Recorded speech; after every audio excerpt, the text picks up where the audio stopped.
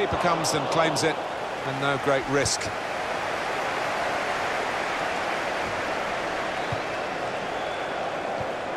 It's Carrick.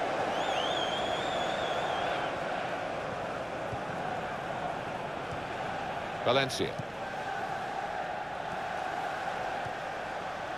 Now.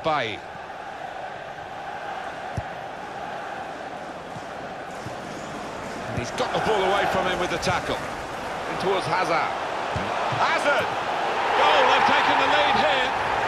They go in front with this very slick attack. And however the opposition sets up against them, they have the power to break them down. It's really exciting, it's really entertaining, and as you've seen, yet again, it's really effective.